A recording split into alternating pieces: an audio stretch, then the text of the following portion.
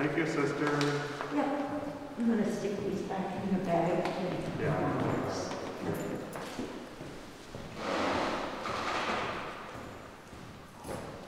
Okay, let's start the small prayer. Heavenly Father, we ask you to be with us today as we learn about the sacrament of reconciliation and also the sacrament of the anointing of the sick. We ask for intercession through your mother, Hail Mary, full of grace, the Lord is with thee. Blessed art thou among women, and blessed is the fruit of thy womb, Jesus. Holy Mary, Mother of God, pray for us sinners, now and at the hour of our death. Amen. In the name of the Father, and the Son, and the Holy Spirit. I'm Father Carl. Um, I'm a recently ordained priest. I was just ordained in July, July 11th. And so this is my second career. I was, before that, I was an accountant. And so, uh, for 25 plus years. And so this is my first assignment here at Cathedral. So, so kind of new to this, but reconciliation is what we're going to talk about first. And it happens to be one of my favorite sacraments to, to minister. So, so that works out really good today. So the other, so we're going to talk about two things today. Two sacraments. The sacrament of reconciliation, which is this book, and we'll just follow along in this book, okay? And then the second one, and we'll get this, to this at the, at the end, is the sacrament of the anointing of the sick. So it's a little bit, it's the same size book, but it's a little bit quicker.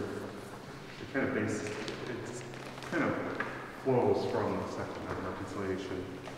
Okay? So if we open these books, years ago, when some people still call it the sacrament of penance or confession, and after the, I guess, probably the 80s, they started, we changed it to the sacrament of reconciliation.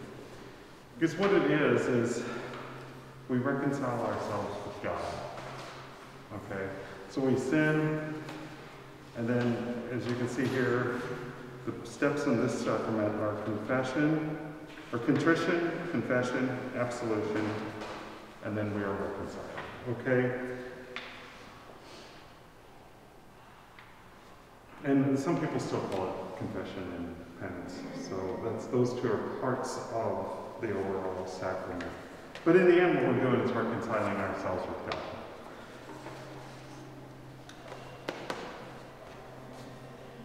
And if we go back to the whole basis of it, and if we look through the history of the reconciliation, we won't go through it uh, in, in, you can always go back to this because it'd be way too long, but in the early church,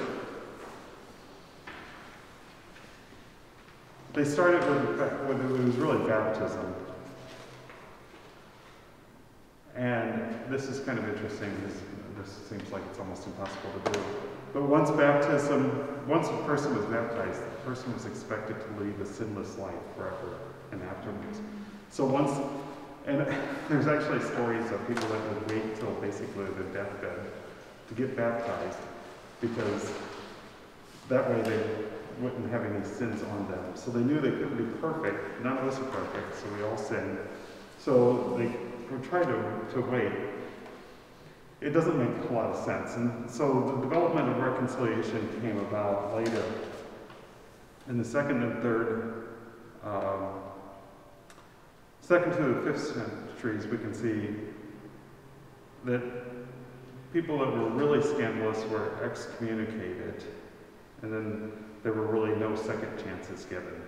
Okay? And then what they did was they changed, they, they, we started this history, this service of penance, but look, if you see this, canonical penance could be received only one time. And another sin that permanent excommunication. So you got one chance. It's kind of harsh. So if you, you see, that's when they really started the, the harshness of, because of the harshness of penance, most people reserved it until they were on their deathbed. So it's baptism and then confession after we started with confession.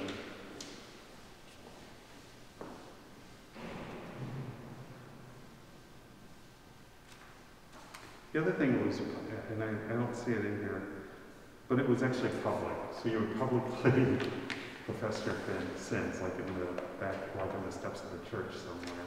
Okay. And then it says here, 6th through the 12th century, it became private, the way we do it today. And this is the other thing they did was that, so for these sins you had this punishment, these sins you had this punishment. There was no, the priest didn't have to think about what the punishment was going to be. And, and we shouldn't even look at it as punishment, okay? That's what the way it was looked at then. But then later, we, uh, it's really been changed to where we are today. So now, it's considered the, the sacrament of reconciliation. So the first step is when you come into, and we got the little cards here, which kind of goes through the steps. The first step is to acknowledge that you're a sinner. You know, in the name of the Father, Son, Holy Spirit. Forgive me, Father, for I have sinned. And the Father and the priest is acting in persona Christi, so we're acting as sitting in for Christ at that moment in time. Okay? And the other thing I need to say and I'll probably say it a couple times, is that anything that happens in the confessional, anything you say, cannot be repeated by the priest. Okay? It cannot. There's uh, the seal of confession is what it's called. And right now, at least, I can't think of any place in the world that it's not accepted, even in the legal system. So if you came in and you said that you murdered somebody, the priest, of course, would have to absolve you from your sins, but he can't say anything. He can't tell the authorities. The authorities question him. He cannot do anything. Okay? So the one thing to remember is that seal is forever and it's permanent and it can't be broken for anything, not even by the legal system. Okay? And that is recognized at least. I can't think of any place that's not recognized. Can you, Robert? I think California tried to overturn it. They tried. All the in California said, yeah, we looked at that. Yeah, and, and, and, but right now, the Supreme Court, I don't think would ever Yeah, I think it, so, we're good in this country anyway, Yeah. so. And I, I just wanna make sure that that is, because that's something that I don't think people outside the Roman Catholic Church really fully understand, is the, is that seal of confession, and how tight that is. And if a priest were to say anything about something that happened, he can actually be excommunicated. I mean, it's like severe punishment for the priest through the church if he were ever caught saying something that, about someone else's sins. So it's what goes on in the, I don't mean in a weird way, what is said in there during the confessional stays there with the priest, the priest. And I know a lot of priests, including myself, that one of the gifts that we received from the Holy Spirit during ordination was that, yeah, I can't remember what people said when they leave. So as soon as you leave, it's just like, it's out of my, my own mind. So I, I got a pretty good memory now. So, but anyway, so the term reconciliation, what that is, is, so the first step is that confession of sins. Okay, and if you go through this little step here. And usually, after you confess your sins, the priest will kind of talk to you a little bit about maybe something you're struggling with. If you're struggling with, um, say, one of your sins was gossiping, um, the priest may talk to you a little bit about the ramifications of gossiping and uh, ways to change that attitude or that, that, that inclination of wanting to gossip or something, and how to change that into a positive. It was gossiping. Well, one thing with gossiping is we have to remember how that can affect other people and how it affects us when people gossip about us. So those are usually ways that we can immediately think, "Oh, I should not be doing that." And it's it's one of it's a common sin because it's a common uh, trait for humans to want to do that and stuff. Uh, looking at things we shouldn't on the internet, stuff like that. Those are some common things. And after after you've confessed your sins, the priest will talk to you a little bit about it and try to give you some advice. Maybe you could even ask for advice from the priest during the confessional. And again, these things that are done, and said to the priest, or the priest says to you, those are between you and God. The priest can't say anything. And after that, you make a act of contrition, which, well, there's one written down here, but it's in such small print, I don't know if you can read it on the back side of this one. Should be in this book too. Oh, wait, you know what? It's on this other sheet of paper. This one's easier to read. Over here. But a lot of times priests will ask you just to say it from your heart. And from your heart, what you're doing is telling God that you admit that you have sinned and that you want to do better and that you've sinned because you love Him, He loves you, and you're going to try to do better in the future. And that you'll try to atone for your sins, which is the penance that the priest will give you. And the, the penance is, and a way to look at that that I've always heard was, so if you throw, if you're a little kid, you throw a baseball and hit your neighbor's window, breaks the window, you can apologize for that, but you still need to make atonement for that. Usually, you know, you pay for that window, and the neighbor may forgive you, but you still have to do something to make it right. And so that's what the penance is here. Depending on the priest, most priests are pretty easy with their penance, so usually, um, I usually try to make it so that it's something that will benefit you at the same time as as you're doing penance to God. It's also building your relationship with God at the same time as as doing something extra. I mean, it's usually for me, it's usually just doing something extra. A couple Hail Marys sometimes, uh, sometimes just sitting and talking to Jesus about what is on here in the Blessed Sacrament. Any questions so far? It's all kind of new to all of you, or? Um, I'm kind of familiar with my mom. She's a Catholic, so she's done her sacrament. so she's Oh, okay. But um, she speaks mostly Spanish. Oh, I'm sorry, and I don't speak any Spanish. But she understands a little bit. Okay. But our family, um, ¿qué Sí. tías? Hmm? De Santo Domingo, ¿quién son monjas? ¿Quién? Mom, mom, Yeah, no. my like- cousin, my friend. Yeah, like our, uh, her cousins in the Dominican Republic, they're nuns.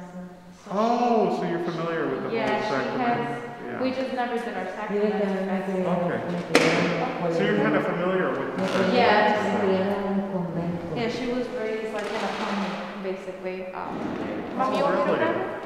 Grab it? Yeah. Okay. And were you, have you been familiar with reconciliation a little bit, or? no? Um, a little bit because my mom is a Catholic, she just converted, so, Oh, okay. yeah, so this is all new. It's all new for you, but is it kind of making a little bit of sense Yes. here? Me criaron en good. Yeah, yo le dije. Yo no sé nada. Ajá, ajá. Pero tú no sabes. The other thing I wanted to find in here, I know it's here, is in here, Estos son mis clases para el No, está catecismo. bien, yo.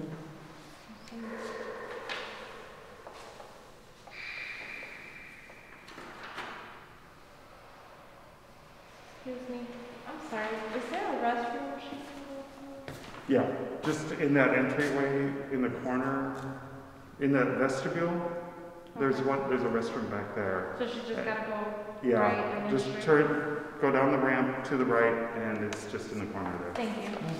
Yeah. Tú tienes uno. Está bien. And it says don't use, but ignore that. Dice que no, dice, tiene un letrero que no se puede usar, pero úsalo. Hmm. There was scriptural basis of the, rec- of the, of this process, and I was trying to find, uh, where those were. Okay, so that's the, that's the penance when it's one person with one person. And that's the normal process, okay? Sometimes you'll hear of a communal reconciliation, And usually what that is, is like during Advent and Lent, we'll gather together sometimes in an evening or in an afternoon. There'll be a prayer service beforehand and reading of scripture. And it's usually 15 minutes, half an hour, somewhere in there. And then, one by one, everybody will come to reconciliation. Those came about, I believe, in the 70s, after Vatican II. And I don't know how much they're really used that much anymore. I'm, I'm not seeing it as much because that's it's a lot for people to come to those because of other demands on our time.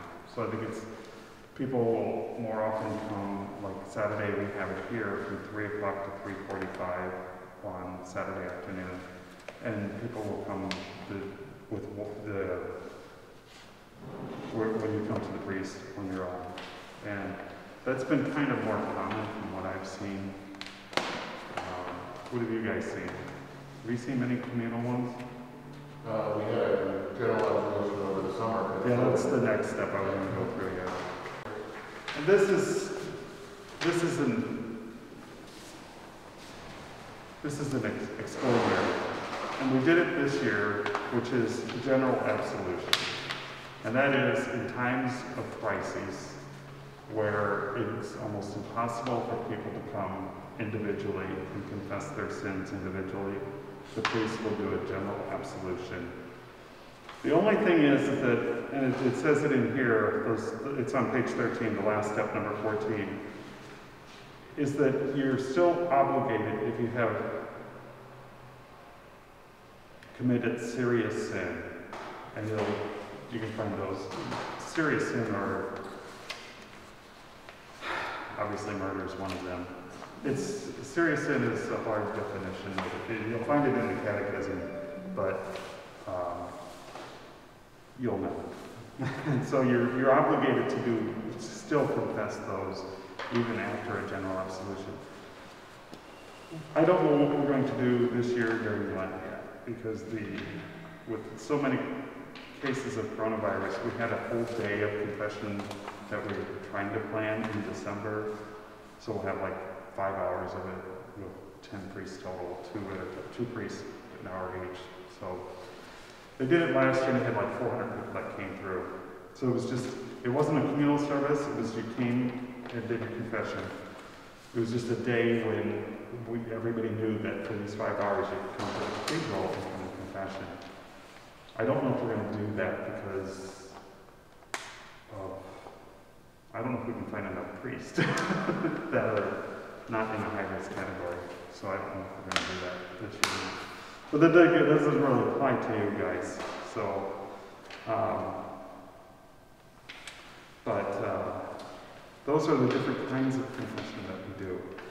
Now, what I was gonna do then is show you how this actually works in, for the real experience. The other thing, before we do that, let's go through this. This is getting ready to do your to, to go through the sacrament of reconciliation. Kind of, hasn't been told. And what this is, is an examination of conscience. And I think on the backside, somewhere on here, it says it's for children. I think we're all children that. Because it says here, a children's examination of conscience and guidance. I think we're all children at heart. So, do you have one of these, Robert? Do you think this is really for children or for everybody? Uh, See, so it kind of, and this is kind of a good thing I think that churches should actually have is a little brochure like this every, you know, at the front of church or something.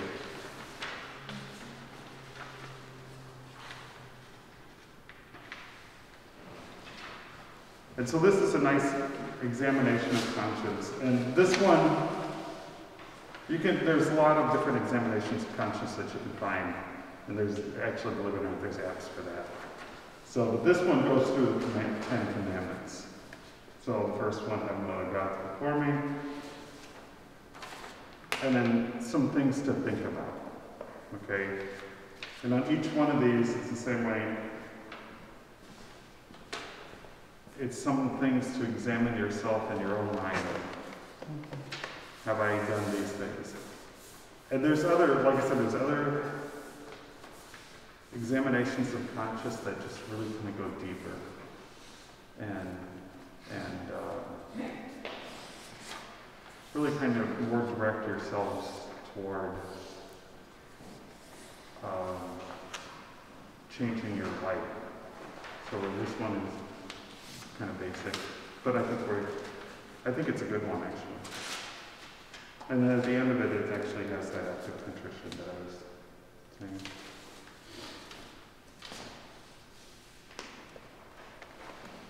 Okay, I have So a far- good. Do you Thank have to do like, um, Thank you. do you have to go to reconciliation every time before taking the Eucharist, or it's just only when you have committed some? One, only when it's grave sin, Okay. And those are in the catechism, or the, the, that Mhm. definitions, I mean, those definitions are usually, um, Yeah. Murder is one of them, grave sin would be adultery. Um, There's a listing in there Mhm. of grave sins. And once you do an examination of conscience, most people know what, in, in their own heart, whether they believe it's a grave sin. And going through the, the, the catechism will help you, but we all know in our heart, I think.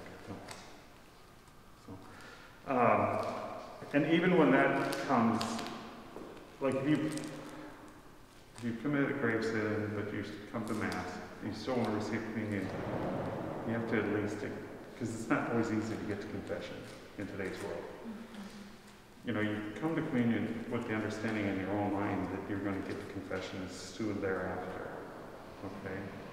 So, and that's, here it's, especially since we have it every week, it's not as bad as some other, some other parishes maybe. So, it's harder in other parishes where they don't have as many, you know, you have one priest covering four masses, it's hard for him to have confessions before every mass. But I'm going to show you an example of how we do, how the process works if you want. So let's come over here. Is that okay? I'm just going to show you here because I've just got mine all set up the way I would. So, these doors down. You want to this? And then I'll show you. So there's two ways to do this, one is, uh, so one is face to face with the priest, and so the priest sits right here. Okay. So I would sit here. The priest wears a- a stole during during that sacrament, as we do many other sacraments. And then, if you come face to face, you would sit here facing the priest. Now, we're, we're fortunate here at Cathedral because our space is so big that we can keep doing it this way with having that social distancing. So, and then that's, then you would start with, you know, time of faith, our Father, confess, forgive me, Father, for our then this is my first confession, um, and then confess the Savior's sins.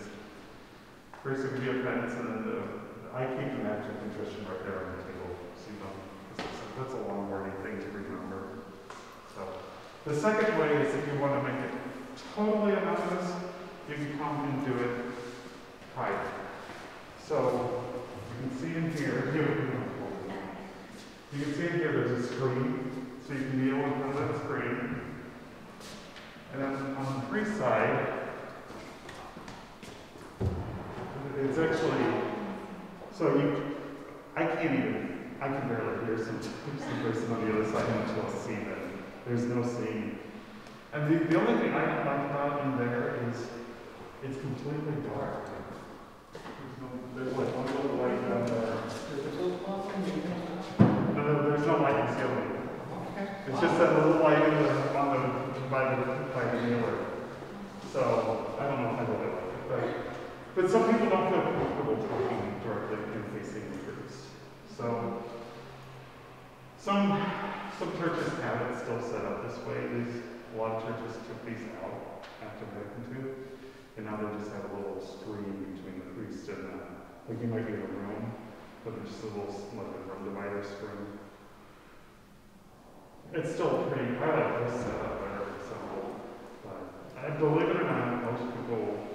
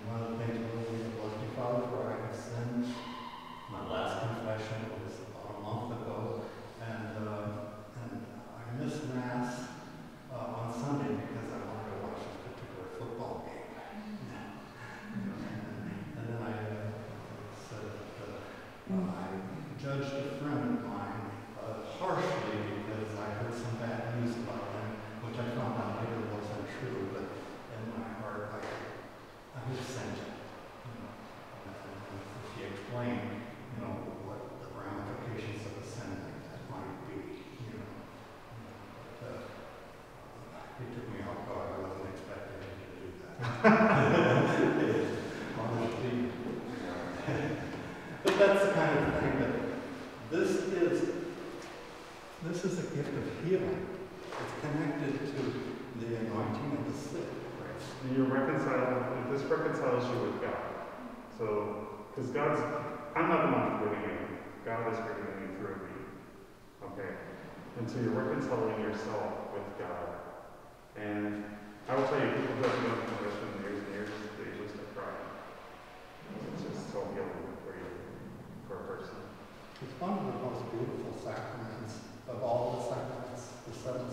things that we can.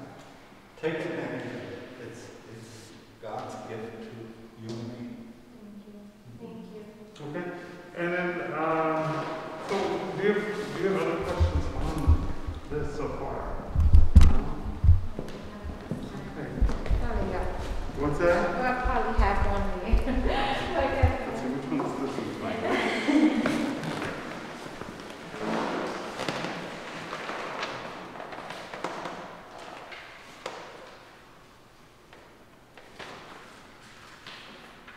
You guys normally take a break here.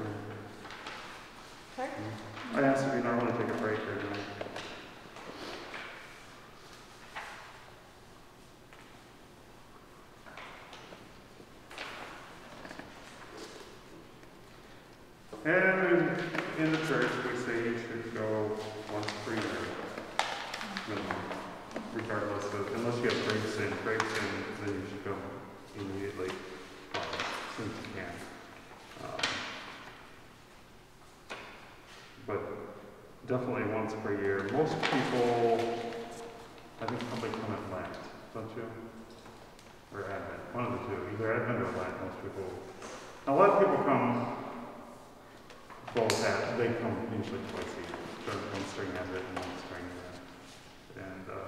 when the priests usually offer more services also, reconciliation services. But there are some people that come probably monthly, some even more often than that. Because it is very, and I, you guys talk about other sacraments already, right? Yeah. So every time you receive a sacrament, you're receiving grace, and that grace pours into you from God. God's always offering grace but our sins kind of block that grace from coming fully in. So in your reconciliation, you're really allowing a lot of grace in. So every time you come to the sacrament of reconciliation, you're receiving grace and you're opening yourself up for even more grace. And so a lot of people will come um, more often. I go, I try to go every few weeks. So it's harder for our priest to go because we have to find a priest that would, because you know, we don't. I, I go with one of the outlets. So. The Holy Spirit will help you by laying guilt upon you. You know, a little bit. You'll you'll feel a little. I, I need to go to confession. You know, I need to get this off of my my shoulders. It's too heavy. I don't want to carry it any longer. You know, move on.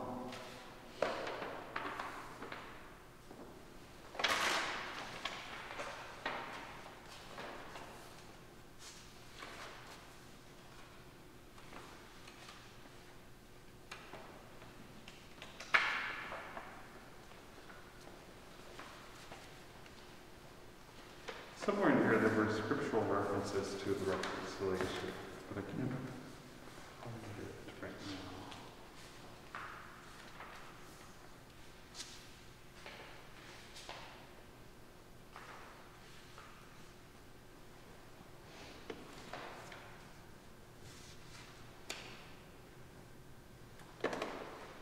Seeing here kind of shows what most modern churches are. So there's like this little room divider thing. Mm-hmm.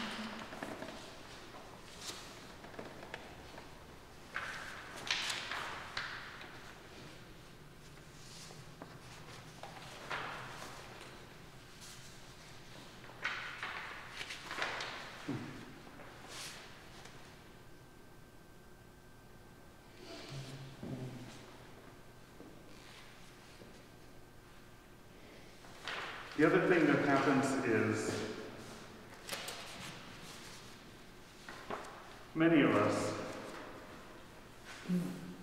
have the same sins over and over and over that we commit. It's just part of our human nature. So the more often you're at confession, a lot of people find those graces that God has works on with you is to help change your own habits. I'll go back to the first example I used of gossiping. If you come every week or every two weeks and confess the sin of gossiping, and if you work with the priest, the priest will probably give you some help on how to uh, work toward uh, not committing that same sin over and over and over. Um, and in today's world, pornography is obviously, um, two nights ago, realized that everybody, or that not everybody, it's just very rampant. So that could be a sin that people do is viewing pornography online or dirty jokes online and stuff like that. And so those are things that the more often we confess, then sometimes God's grace will help you overcome those same types of, if you want to call them addictions or, or whatever, we commit in the same sins and over and over. And then, so that's the other thing that the sacrament of reconciliation offers is uh, graces to be able to live a life closer with the Christian life that God wants us to be. Okay? Okay, then the other sacrament that we were going to cover today, this is going faster than I thought it would, is the anointing of the sick.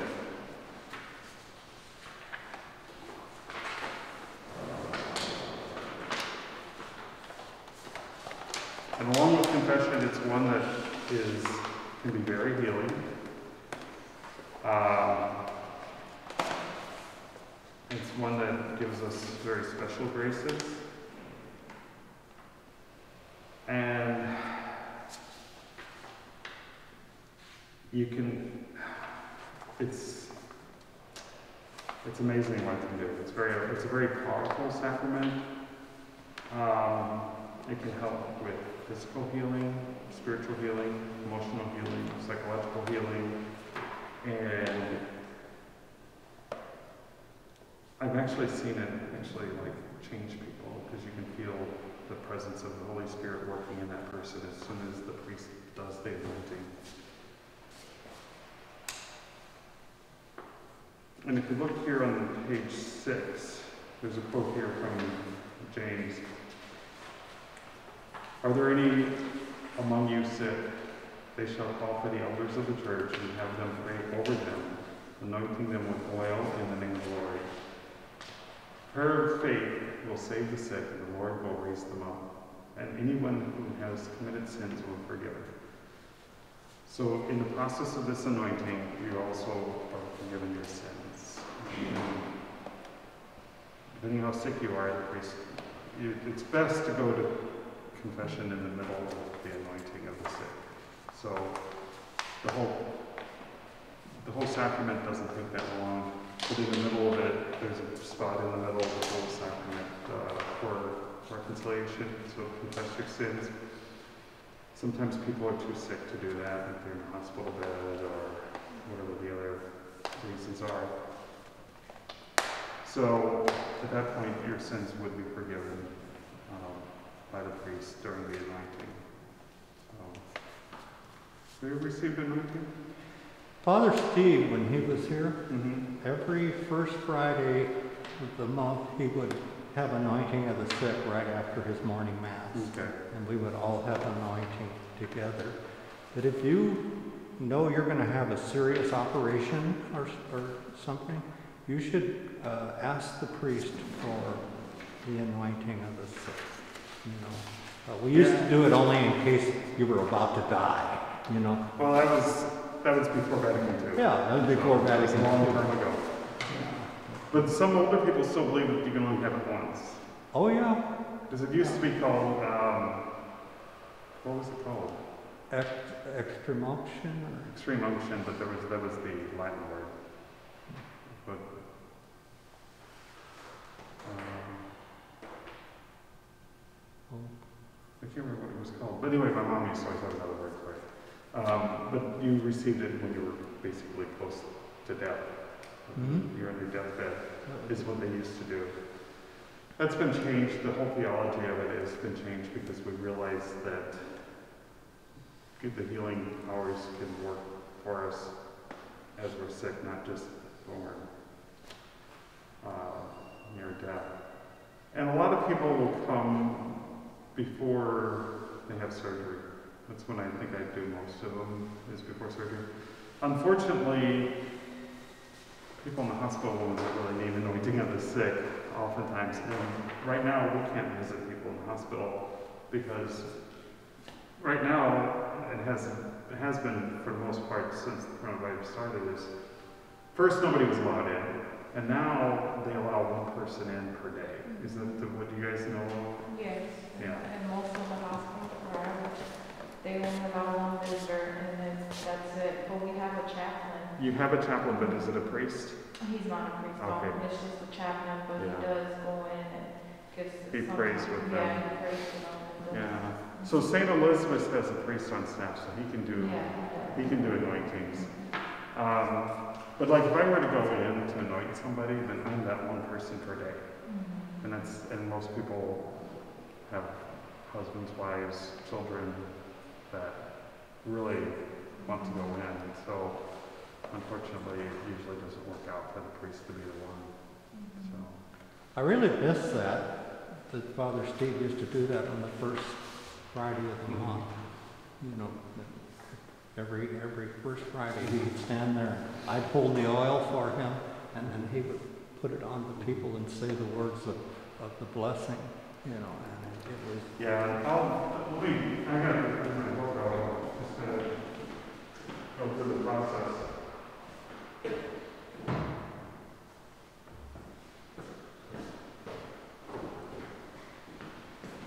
This, the sacrament is actually pretty straightforward. It's, um,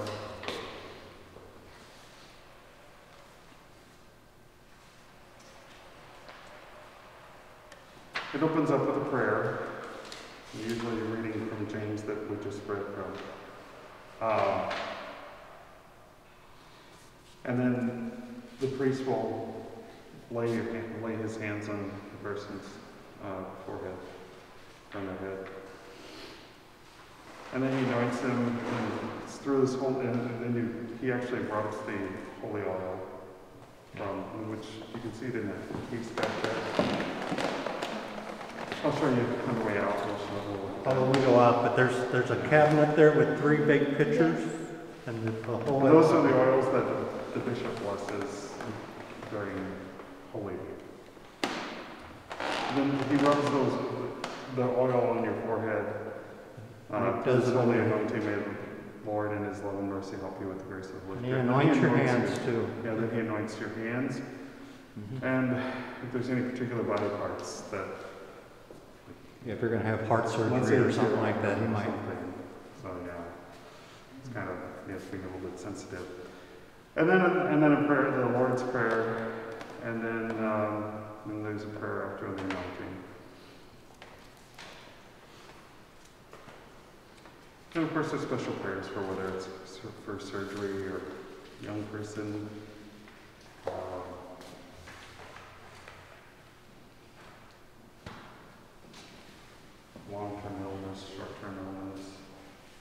But if you have someone at home that is sick and possibly dying or living out their last days, call a priest. You know, he'll come to visit your home. Well, that's what mom used to call it, last rites. That's what she always called it. So you wait until the very end. So that's the, that's the anointing. Okay? Any questions about anointing? No? How about reconciliation? Do you get the connection between the healing of the body and the healing of the soul? Yes. One is confession, one is the blessing of, of, of the holy oils. And it's, it's hard to take one part of your body and, or one part of your psyche, your soul, your spiritual life, your physical life, your mental health. Everything is, you work in hospitals, so you know this, everything is tied together. It's, it's hard to say you're healing one part versus, you, I mean, you do like the whole thing. You physically, you mentally, if you're not safe mentally or actually, you know, have a good, I don't want to say a good mentality, but if you're depressed mentally, you're most Mhm. likely going to be feeling it physically. So Yeah. most of the patients that come in are sick, but they're more sick because they know they're dying or because they're depressed of dying. And then they end up, their bodies feel even worse, even though Mhm. you might check their vitals and it might be perfect. Mhm. Uh, but, you know, so it, it's a connection, and we do see that. And I did want to ask one thing. Yeah, and the, the, I I want to add a little bit to that, the spiritual health, which most people, especially in a hospital situation, get, it- that gets ignored oftentimes. Mhm. Unless you have good chaplains, which you, you have chaplain. right? Yeah, we have, for depending on the hospital, they do sometimes have priests. I worked in one in Chicago where they did have a chaplain that was a priest, so he Uh-huh. was able to do like Ash Wednesdays, he was able to give it to us, Mhm. um, especially the ones who worked overnight, things like that, so, um, or did the anointment, um, of the sick as well, you know, they did do that, but, uh, I have a question, so you can only do it though if you are baptized, correct? You can only receive that? The anointing, Yeah, yeah, okay. yeah. But I mean, I think that most priests probably aren't gonna. I mean, what ends up happening is, like, if I came upon a car accident and somebody said, can you anoint this person? I'm not gonna, do, do they receive all the sacraments? I mean, you're, you're going to do the anointing. I mean, you, you have to do, you have to do what, um, in emergency situations, you're gonna do what you need to do to be on the safe side. So, you know, if that person doesn't believe in God, and the anointing isn't going to be effective because they have no belief there. Mm, So, uh, I can't say that it would be effective because I don't know that. Right. So, but, uh, you know, it's that person's di- disposition also, so. But, um, this is one of the sacraments, yeah, that you would normally think that you should be baptized for. Okay. So like if a baby, you know, comes and. Well, if it's a baby, normally, normally if you baptize the baby, then, you know, as a baby, you're not gonna have any sin. So if you, if you were to baptize that baby, but you can anoint the person right after the baptism, I think. Okay. So, but normally with a baby, you baptize that person or bless the person. Yeah, that's a tough one, because I think it's just really tough anyway, because when you see sick children, it's really, Yeah. We see a lot of sick babies that come out and sometimes don't make it past the day. That's what I was asking. Yeah. Normally, yeah, normally if you baptize a person, I mean, we believe that baptism cleanses, takes away all your sins. So normally you would expect that person to be right with God at that point, right? So, Well, in an emergency situation, anybody can perform a baptism. yeah. Okay, so if a person, God forbid, like, gets in a motor vehicle accident, and they weren't baptized, would they be able to get baptized right? Yeah, and it doesn't have, like he said, it doesn't have to be a priest at that point. You can, anybody can pour water over a person's forehead and say, baptize you in the name of the Father and the Son and the Holy Spirit. And it can count as a Yeah. baptism? We would, we would, church would recognize that as a baptism. Okay. If you use those exact words, I baptize you in the name of the Father, Son, and Holy Spirit. It's just the Father and the Son, Okay. so, but yeah. Um, because I mean, I know people who have been baptized by their grandparents because the kids have fallen away from the church, and the grandparents will baptize the baby in the sink. So, think Sister, Sister also, either her or sister was baptized. oh, it was her sister, yeah, because she, they, they were all born at home. Sister Tess is old enough that she was born at home, and one of her sisters was really sick when she was born, and they baptized her right there in the kitchen sink. We will have baptism on the vigil of Easter. You know, you guys that aren't baptized. Now, who's baptized? You're baptized? Yeah. Baptized, baptized? Um, we, we, we aren't. No baptism? No. Okay, okay. So you'll be So you're baptized when these classes are over. uh, They're not really over, but they come to a climax on Easter, the night before Easter. We call it the Easter Vigil Mass. And the bishop here will, if you're in this parish, he will baptize you and confirm you on- the same night, you know. And uh, that baptism is, uh, if you're not sure if you were baptized or not, sometimes people come here and say, I'm not sure. And so we have what is called a, a conditional baptism. Just, we baptize you uh, in, in case you weren't, you, you weren't baptized, you know, because some people come from churches that uh, they don't say the proper form, you know. I baptize you in the name of the Father, the Son, and the Holy Spirit. Some people say, "Oh, I was baptized in a church where they said, in the name of Jesus. Yeah, with those church buses, like when I was little, I, for some reason, me and my family or my cousins, we got on one, and we were, um, you know, I think it was like evangelical or something. Mhm. like- And then when we were there, at the end, they said, "Who wants to be saved?" And so, me as a child, I just wanted to feel Sure. God's presence, so I Mhm. went up, and then my cousin stopped me and said, "No, they're trying to baptize you here." And you know, because he was baptized in a Catholic church, he knew that it wasn't like the right way, so he stopped me from actually going and getting drenched in the water. And here now you're waiting still. Yeah, now I'm here, you know, 20 years later. All in God's, all in God's plan. Yeah, Yeah. good. So yeah, and I think you guys will, uh, your first confession will be sometime in Lent. So, if I'm available, I might be here. But Now you guys know Father. Yes. Yep, we just, So he's your friend. You can, you can talk to him anytime you want. Thank you. Thank you. Don't ever be afraid to talk to a priest. You know? Goodness. They look a little funny, they dress different, but they, they're pretty much like you and I. any more questions or? Any questions? You okay, Tim? Tim is it? It's About ten. All right, good.